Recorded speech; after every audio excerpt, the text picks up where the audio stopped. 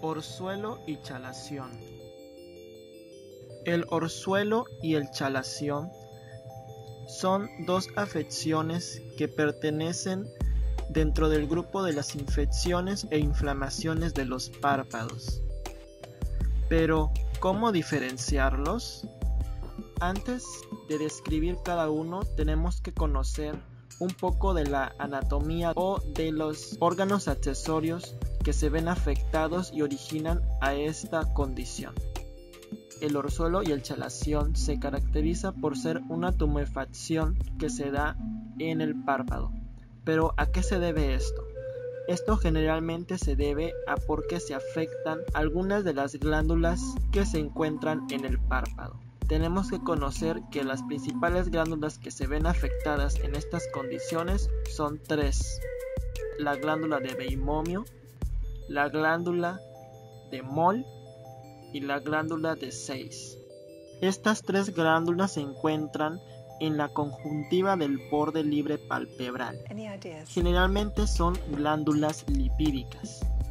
La glándula de Seis y las glándulas de Beimomio. La glándula de Seis es una glándula holocrina que se encuentra en el folículo piloso es la que podemos ver generalmente junto a la pestaña.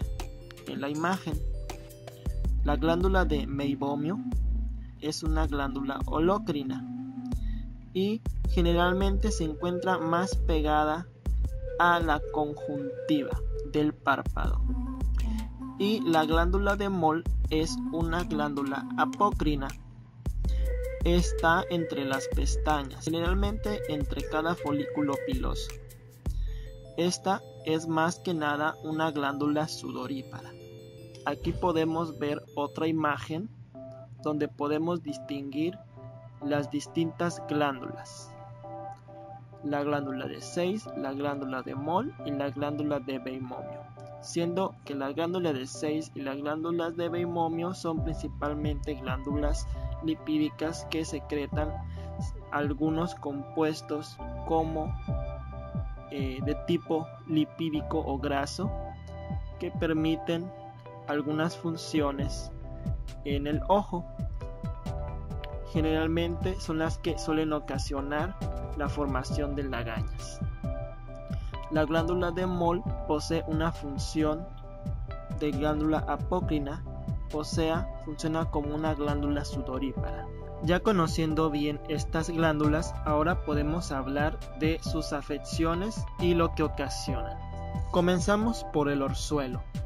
El orzuelo es una inflamación aguda de los párpados, que se caracteriza por ser de dos tipos. Puede ser un orzuelo externo o un orzuelo interno. Y esto lo vamos a denotar a partir de qué parte se va afectada. Generalmente el orzuelo externo es una inflamación externa. Suele afectar a los folículos pilosos o glándulas de 6 y también de Moll. Son las que se encuentran más a la parte externa del párpado. Se diagnostica principalmente porque suele presentar una pequeña pústula evidente en el margen palpebral. El orzuelo interno es una inflamación interna. Esta suele afectar a la glándula de Beimomio porque como vimos en la imagen, anterior, la glándula de Beimomio se encuentra más profunda, o sea, más del lado de la conjuntiva del párpado. Por lo tanto, va a estar más profunda. Para diagnosticar si el orzuelo es interno, hay que voltear la parte del párpado o evertirlo para poder examinar la conjuntiva tarsal y entonces podemos encontrar una pequeña pústula es la que nos indicará entonces que es un orzuelo interno. En pocas palabras podemos resumir que el orzuelo externo se encuentra localizado en la superficie de la piel, o sea, a nivel del borde par del párpado. Y el orzuelo interno es aquel que se localiza en la conjuntiva tarsal. Ahora, el chalación se define como una inflamación granulomatosa de las glándulas sebáceas de meibomio Esta generalmente es exclusiva de las glándulas de Beimomio. Como recordamos en la imagen de su anatomía, la glándula de Beimomio está más profunda, o sea, a nivel de la conjuntiva tarsal. La podemos diagnosticar porque se presenta un nódulo subcutáneo en el tarso, bien definido. Generalmente no es doloroso, suele medir de 2 a 8 milímetros de diámetro. A la versión podemos encontrar un granuloma conjuntival externo. Suele también ocasionar visión borrosa por astigmatismo, o sea, por la misma presión que ocasiona el granuloma dentro de la esfera ocular. Les comparto este cuadro de las diferencias entre el orzuelo y el chalación que nos va a ser útil para poder identificar de forma rápida las diferencias de cada una. En el cuadro podemos ver el orzuelo tiene un inicio agudo, a diferencia del chalación que tiene un inicio crónico. El orzuelo, su afección es principalmente de tipo infecciosa. El chalación, por el contrario, es nada más una inflamación granulomatosa que generalmente suele ser estéril. La causa del orzuelo suele ser, como es de una afección infecciosa, suelen ser infecciones estafilocócicas, principalmente Staphylococcus aureus. En cambio, la causa del chalación es generalmente idiopática o secundaria a otras afecciones. La localización del orzuelo, generalmente como lo mencionamos, este puede ser externo o interno. Externo de localización en las glándulas de Seis o de Moll, porque son las que se encuentran más al exterior. El orzuelo interno, por el contrario, se localiza en las glándulas de Beimomio por ser más internas. En cambio, el chalación, la localización se encuentra en las glándulas de Beimomio específicamente. Los signos que podemos encontrar en el orzuelo son es eritema y tumoración.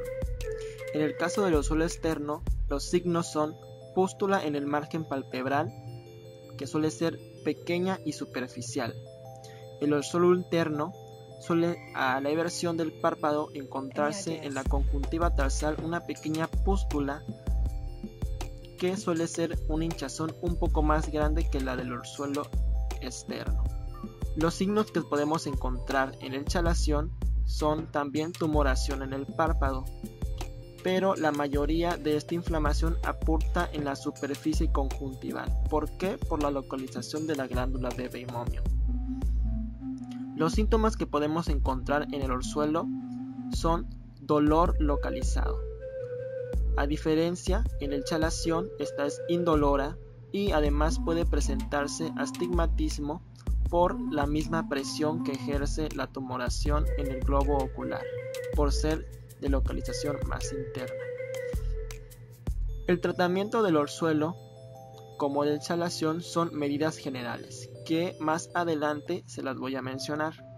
En el caso del orzuelo, el tratamiento farmacológico suele ser ungüento, el cual suele utilizarse cloranfenicol, sulfacetomida, bacitracina o eritromicina, generalmente cuatro veces al día por un periodo de 7 días.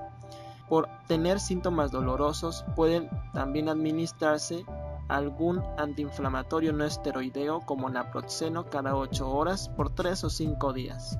Si no mejora después de 3 meses o evoluciona a chalación, hay que hacer derivación a oftalmología, que en su caso hará el tratamiento de incisión y drenaje. En el caso del chalación, si este es más de 6 milímetros sin respuesta a tratamiento conservador, por más de un mes, entonces hay que hacer incisión y legrado con la previa derivación a oftalmología. Este suele ser generalmente el tratamiento de primera intención. Las medidas generales que podemos mencionar tanto para el orzuelo y el chalación son es que se espera una recuperación espontánea. Sin embargo, como tratamiento inicial se recomiendan aplicar compresas calientes de 3 a 4 veces al día de 5 a 10 minutos en el área de la lesión. Se recomienda también higiene del borde palpebral con un hisopo de algodón, pero no más allá de la unión mucocutánea. Utilizar champú de bebé o solución de bicarbonato de sodio para esto. Orientar sobre el uso de cosméticos, ya que esta es una de las principales causas por las cuales también se obstruyen estas glándulas y ocasionan que no se drene las sustancias que segregan estas glándulas y ocasionan su obstrucción y por lo tanto su inflamación. Esto fue el tema de las diferencias entre orzuelo y chalación. Si te gustó, regálame tu like y suscríbete. Si quieres algún tema en específico, puedes comentarlo en la sección de comentarios aquí abajo.